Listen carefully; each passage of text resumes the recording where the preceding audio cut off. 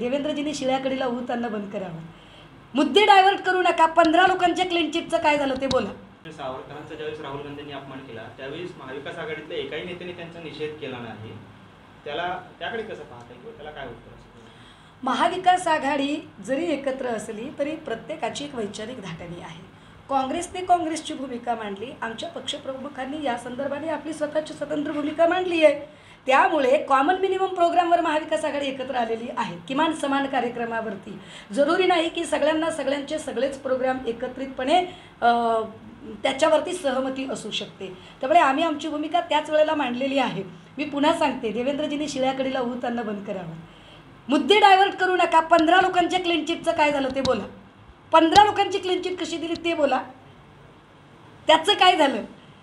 तुम्ही ज्या ज्या लोकांवर आरोप केले आणि ज्याला तुम्ही शिंदे आणि भाजपांमध्ये घेतलं त्यांच्या तुम्ही चौकशा अचानक का थांबवल्यात त्या बोला? त्या पुढे चौकशा का केल्या नाहीत त्याच्यावरती सांगा. आजच्या चार मंत्र्यांवरती काय ॲक्शन घेतली जाणार ते बोला. नुसता निर्लज्ज शब्द वापरला तर सस्पेन्शन करताय तुम्ही. अरे तुमचे मंत्री धनाधन मारहाण करताय आज आज भुसेंचा व्हिडिओ सापडला. भुसे मारतायत. मिनिस्टर माणूस मारतोय.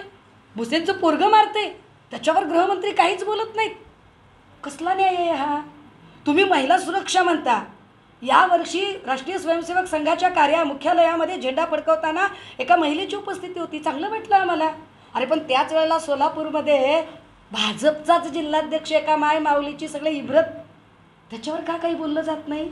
बोलावं की भाजपने त्याच्यावर? भाजपच्या ज्या सोकॉल्ड बायका आहेत ज्या गोरगरिबाच्या पोरींची आबरूची मात्र राजकीय शिडी करून स्वतःचं राजकीय करिअर घडवतात. पुढे त्याचं काय होतं? ह्याच्यावर बोला ना. मुद्दे डायव्हर्ट करू नका. विकासाच्या मुद्द्यावर बोला. बेरोजगारीच्या मुद्द्यावर बोला. नऊ टक्के जो महागाईचा दर झालेला आहे त्याच्यावर बोला. बेरोजगारीमध्ये काय झालं ते बोला. या सोलापूर जिल्ह्यामध्ये गेल्या दहा वर्षामध्ये पंधरा लाखाने लोकसंख्या का घटली? पहिल्यांदा एखाद्या शहराची लोकसंख्या वाढते. हे पहिलं उदाहरण आहे असं की शहराची लोकसंख्या घटते. यावर का बरं बोललं जात नाही? शब्दच करत नाहीत राव.